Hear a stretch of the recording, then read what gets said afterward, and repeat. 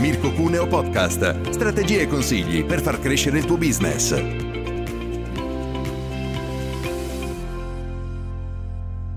Ciao, sono Mirko Cuneo e ti do il benvenuto nel mio nuovo podcast. Oggi parliamo di Amazon e per essere precisi affrontiamo la domanda che ogni imprenditore o professionista si è posto almeno una volta, soprattutto nell'ultimo periodo. Conviene vendere su Amazon? Nelle ultime settimane ho ricevuto molte richieste di informazioni e consulenza da parte di imprenditori che hanno già un e-commerce, ma anche da coloro che ancora non hanno venduto online. La motivazione di tanto interesse è chiara. Viviamo in un momento complicato della nostra vita, sia dal punto di vista della salute, sia da quello imprenditoriale e finanziario. Da imprenditore capisco molto bene le sfide e le difficoltà che vivono le piccole e medie imprese in Italia. La maggior parte dei business si sono fermati e hanno subito delle rigide restrizioni. È giusto rispettarle, ma è altrettanto giusto trovare dei metodi alternativi per continuare a far crescere la propria azienda e per farlo è necessario avere le conoscenze e le capacità per mettere in pratica strategie che funzionano. Se sei già arrivato qui, sono sicuro che tu abbia un po' di curiosità e che tu ti stia chiedendo se effettivamente il mondo dell'e-commerce e di Amazon facciano per te e in che termini. In questo podcast, infatti, imparerai quali sono i vantaggi generali di vendere su Amazon, contestualizzati in particolar modo in questo particolare momento storico. Se sei un venditore o un imprenditore, dovresti prendere seriamente in considerazione di fare affari su Amazon Infatti i consumatori utilizzano Amazon sempre di più come motore di ricerca, quindi quando hanno bisogno di un prodotto, invece di cercare su Google, accedono direttamente all'e-commerce numero uno al mondo per vedere che cosa gli viene proposto. Questo succede soprattutto se gli utenti in questione non hanno un'idea precisa del brand a cui vogliono affidarsi o se cercano un prodotto che gli venga consegnato direttamente a domicilio. Infatti, fra le motivazioni del successo di Amazon c'è anche quella di essere un marketplace con un servizio di logistica a disposizione, non solo per la comodità dei consumatori, ma soprattutto dei venditori. Ai consumatori piace comprare online, proprio perché non devono spostarsi per andare direttamente al negozio. Beneficio che in questo periodo risulta sicuramente un vantaggio concreto. Questo gli permette anche la comodità e la flessibilità di gestire al meglio il proprio tempo, che è una risorsa sempre più preziosa al giorno d'oggi. Se il tuo brand può garantirgli il prodotto che cercano e anche la sicurezza di riceverlo a casa in tempi brevi e prestabiliti, tu avrai molte più opportunità di essere la loro scelta di acquisto. Se non ti è del tutto chiaro quello di cui sto parlando, non ti preoccupare. Durante questo podcast ti spiegherò tutto quello che devi sapere e risponderò alle domande che più frequentemente mi vengono poste dai miei clienti. Dunque, per riuscire a vendere su Amazon ci sono delle cose di cui bisogna tenere conto e che hanno necessità di analisi e strategia. Amazon ha reso il suo mercato accogliente per tutti i nuovi arrivati, sia per chi vende sia per chi acquista. Questo non vuol dire che sia un luogo assolutamente perfetto, ma offre sicuramente moltissimi vantaggi. Perciò adesso ti parlo dei pro e dei contro di questa piattaforma, partendo dai dubbi che hanno i miei clienti e che credo possano essere anche i tuoi. La prima domanda che mi viene in mente è che cosa concretamente devo fare per iniziare a vendere su Amazon?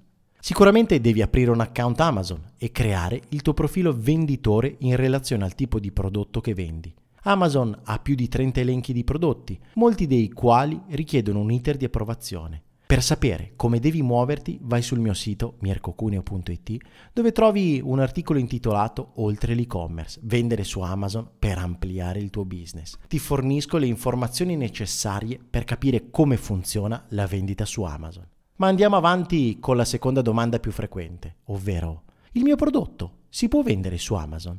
Devi sapere che ci sono delle categorie di prodotti che tutti i venditori possono commercializzare liberamente. Anche in questo caso trovi sempre la lista completa in quel mio articolo. Se il tuo prodotto non rientra all'interno della lista, che comprende circa 20 categorie, allora bisognerà compilare un modulo e fare richiesta specifica per l'attivazione di un piano vendita professionale. In ogni caso, per capire se ti conviene vendere su Amazon, è necessario valutare la tua situazione specifica, il tuo prodotto, il tuo mercato e le tendenze di vendita.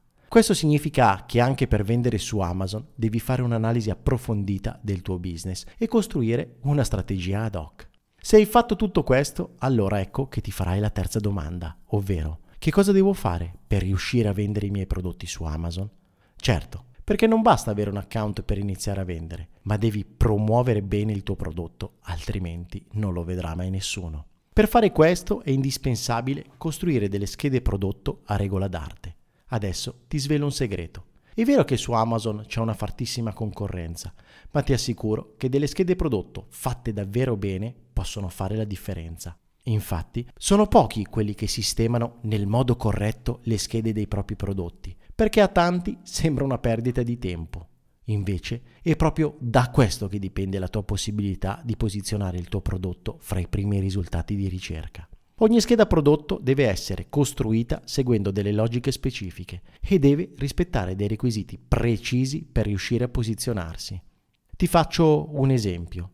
Bisogna fare attenzione alla qualità della foto, all'utilizzo di determinate parole chiave, che devono essere quelle che gli utenti cercano. E poi ancora devi formattare correttamente il testo, utilizzare gli elenchi puntati e scrivere informazioni che siano davvero quelle che gli utenti vogliono sapere. Per fare questo devi conoscere bene i tuoi potenziali clienti, ovvero quei consumatori che vogliono il tuo prodotto per risolvere un loro problema o soddisfare un desiderio. Ricordati che prima di essere un venditore di prodotti, tu sei un venditore di risultati ed è proprio questo che devono percepire i tuoi clienti. Quindi, anche per la descrizione del tuo prodotto, non mettere il focus solo sulle caratteristiche specifiche, ma basati sulle esperienze di utilizzo che possono fare i tuoi clienti. Significa che bisogna che tu faccia immaginare ai clienti che esperienza vivranno grazie a quell'acquisto. Forse pensi che per il tipo di prodotto che vendi tu questo non sia necessario, invece ti sbagli. Il mercato è diventato conversazione ed esperienza e i consumatori sono sempre di più alla ricerca dei prodotti giusti, cioè quelli che soddisfino al meglio le loro esigenze. Sta a te trovare il modo di raccontarglielo e farglielo percepire.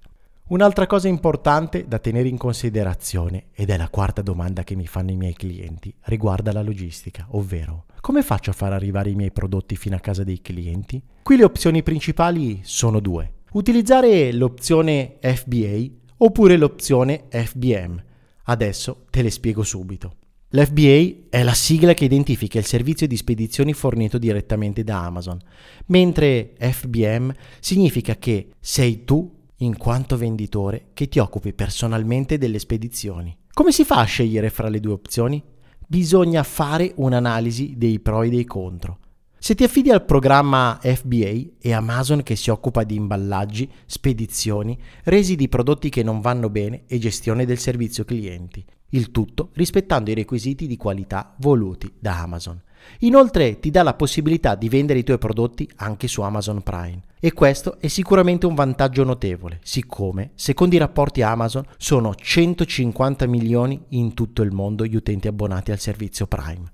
Ma non c'è nulla di gratuito, quindi il contro è che questo servizio ha un costo in cui la percentuale varia a seconda della categoria del prodotto, dalle rimanenze di magazzino e così via. Con il programma FBM sei tu il responsabile della raccolta, l'imballaggio, le spedizioni, i resi e tutta la gestione della tua merce. Eviterai alcune commissioni che derivano dal programma FBA, ma ti verrà richiesto di rispettare tutte le regole e i requisiti di un venditore Amazon. Vale a dire che devi rispettare tempistiche da record, rispondere ai problemi di assistenza clienti in 24 ore, fornire tutte le informazioni di tracciamento di viaggio del tuo prodotto, spedire la merce entro il periodo di tempo indicato. Inoltre, non potrai accedere al servizio Prime a meno che tu non venda con l'opzione Seller di Amazon.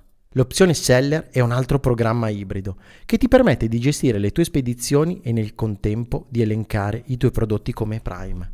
Tuttavia non è facile qualificarsi per questo servizio. Dovrai attraversare un periodo di prova e rispettare dei requisiti di qualità ed efficienza molto elevati. Quindi conviene vendere su Amazon con il programma di logistica FBA o FBM. La situazione va valutata caso per caso, secondo un'analisi approfondita delle tue possibilità e della tipologia della tua merce. Se sei arrivato fin qui e non ti sei ancora perso d'animo, la quinta domanda che ti farai riguarda la pubblicità, ovvero ha senso fare pubblicità a pagamento per i miei prodotti su Amazon? Sono sicuro che indovinerai subito la risposta. Esatto. La verità è che dipende. Devi fare una valutazione del tuo settore, del mercato in cui tu inserisci e di quali sono le ricerche che i consumatori fanno su Amazon. Ci sono alcuni prodotti per cui c'è un livello di competizione molto alto e altri prodotti che non sono presenti oppure ce ne sono pochi. In questo caso conviene vendere su Amazon e investire dei soldi nella promozione, oppure no. La risposta è sempre dipende. Anche se un prodotto non è presente e quindi in teoria tu riusciresti ad apparire subito, in questo caso ci sono due variabili. La prima è che forse nessuno prima di te ha pensato di aprirsi ad Amazon, quindi per te potrebbe essere una grande opportunità. Nel secondo caso, forse semplicemente il tuo prodotto non funziona su questo marketplace. Quindi, anche se ti posizioni benissimo con la tua scheda prodotto, potresti non concludere vendite perché i consumatori non ti cercano. Perciò, se conviene vendere su Amazon è una domanda che ti devi porre all'inizio, prima di fare o di farti fare da un professionista tutte le valutazioni, ma anche alla fine, una volta che hai davanti agli occhi tutta l'analisi della situazione.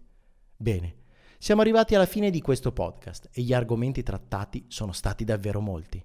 Ti faccio un breve riepilogo dei punti fondamentali. Vendere su Amazon è sicuramente una missione fattibile, ma necessita di un'analisi seria e specifica.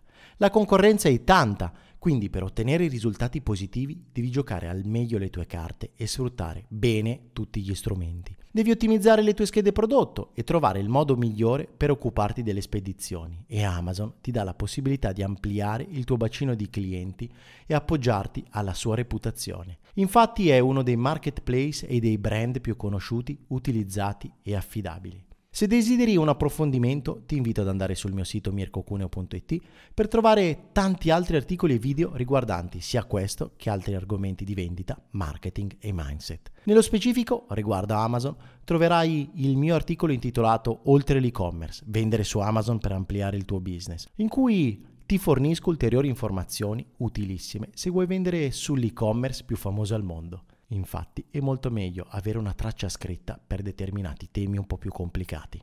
Sul sito trovi anche la pagina con tutti i miei contatti, chiedimi una consulenza e fammi tutte le domande che desideri. Posso aiutarti ad avviare e portare al successo il tuo business su Amazon. Intanto ti do l'appuntamento per la prossima settimana con un nuovo podcast. L'uscita è sempre il giovedì. A presto.